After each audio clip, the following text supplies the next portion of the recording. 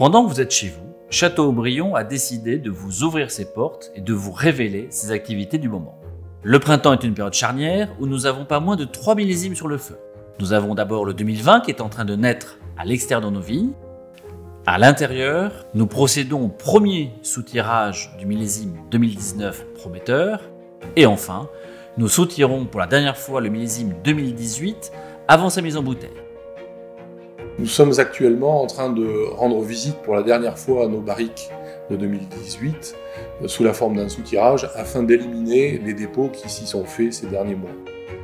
Nous allons pratiquer, une fois que les vins sont en cuve, un assemblage afin de marier les bois, les barriques étant différentes toutes les unes des autres. Les mises en bouteille, une fois effectuées, les vins seront stockés pendant plusieurs semaines avant d'être conditionnés pour expédition à nos différents clients. Le millésime 2020 se présente comme étant très précoce. La vigne a commencé à débourrer le 17 février. Actuellement, nous sommes en train de décavaillonner, c'est-à-dire d'enlever la butte de terre que nous avions constituée à l'automne au pied des cèpes de vigne.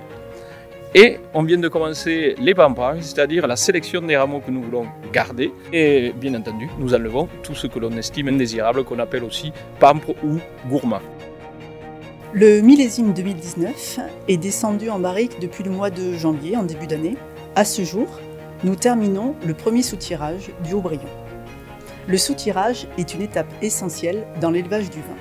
Il permet, tout simplement, de clarifier le vin, c'est-à-dire de séparer les lits qui ont sédimenté au fond des barriques de la partie plus claire qu'est le vin. Le millésime 2019 sera soutiré six fois, jusqu'à sa mise en bouteille. Comme vous l'avez constaté, nous apportons un soin particulier à l'élaboration de nos vins.